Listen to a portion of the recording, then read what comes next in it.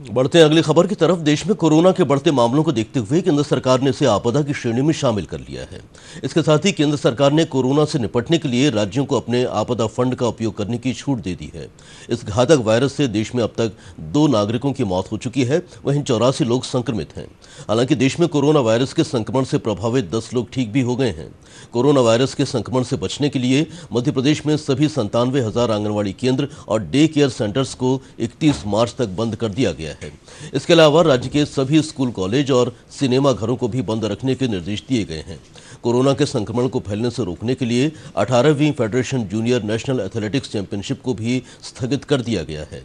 Corona virus की रोकथाम को लेकर लोक स्वास्थ्य एवं परिवार कल्याण विभाग ने तैयारियों की समीक्षा की। स्वास्थ्य मंत्री तरुण भनोट ने कल एक बैठक लेकर निजी अस्पतालों की भी सेवाएँ लेने के निर्देश दिए। प्रदेश में फ़िलहाल कोरोना वायरस के संभावित 27 प्रकरणों की जाँच की गई है, जिसमें 26 की रिपोर्ट निगेटिव है।